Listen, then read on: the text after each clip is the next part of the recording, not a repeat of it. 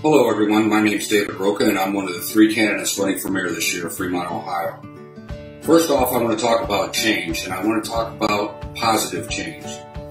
Before you make any change in the community, you absolutely have to make sure that your police and fire departments are fully staffed and equipped.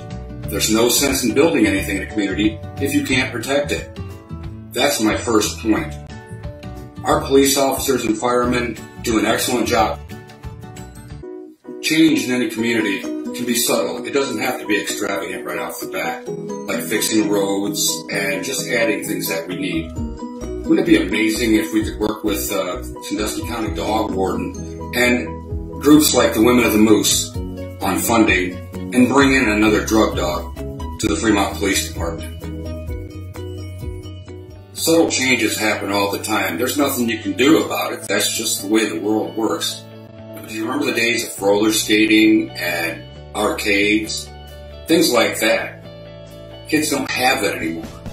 Now I understand why they have it. I'm just wondering, do they have to stay gone? We need more places for our kids to socialize, have family time. We can do this.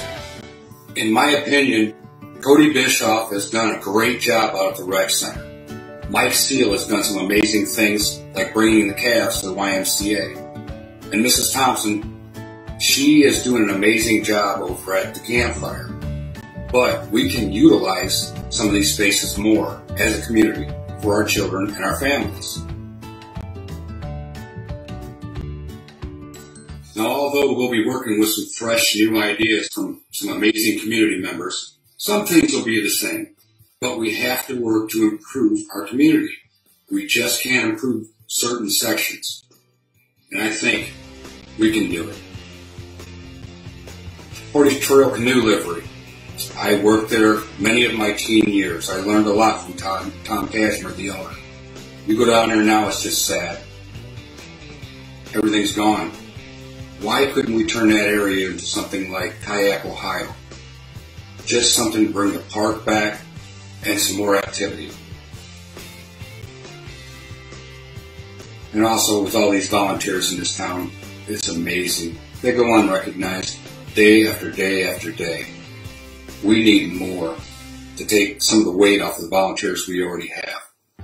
We need more volunteers to help our community members, and we're going to do it there's just a lot of things we can do. There's a lot of things we can do that won't cost taxpayers anything, and there's a lot of things that will do, like repair the roads, that may cost a little. But we'll get grants. We'll do whatever we need to do to make the cost as low as possible for our citizens. That's the way it should have been done in the first place. Thank you very much, and you have a great day.